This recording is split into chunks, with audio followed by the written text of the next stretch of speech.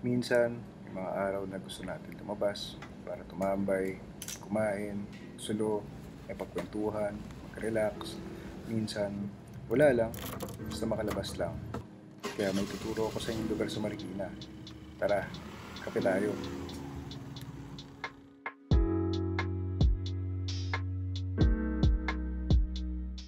Papi, welcome to Inarawan Cafe.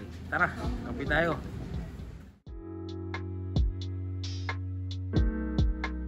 Ang Inarawan Cafe ay nakilala nung nagtayo si Nicole at Paul ng pop-up cafe sa May Marilake kung saan karamihan ng mga nagmomotor, nagbabike at mga biyahe ay nagsastop over dahil sa magandang view at madaming makakainan dito.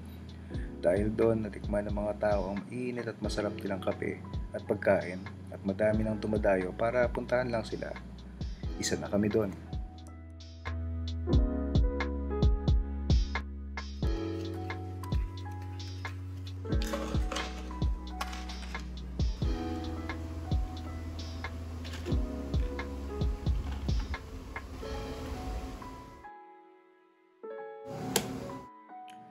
Ang paggawa ng kape, gaya ng ibang bagay, kailangan may TLC, Tender Loving Care, para makuha mo ang tamang halo ng pait at tamis.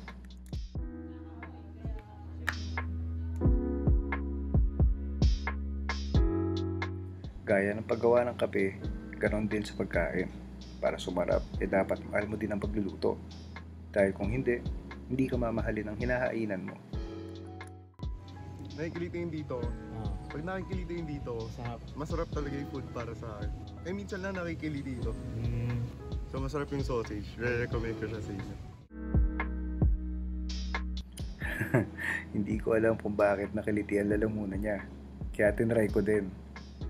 Masarap nga ang sausage.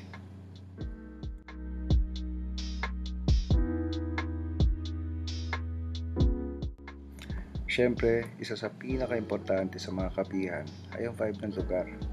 Yung saktong chill ang genre at lakas ng music, saktong detalye at lighting, at ang rustic theme na nakaka-relax.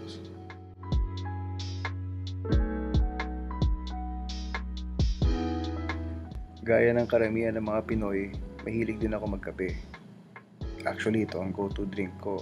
Pagkagising, sa hapon, kahit sa gabi pagkatapos kumain. So, to wrap it all up, na-enjoy ko experience dito sa Inarawan Cafe. Gandang ambience, chillax na music, at yung swaktong timpla ng kape. Masarap, may pait na may tamis, nakaka-good vibes.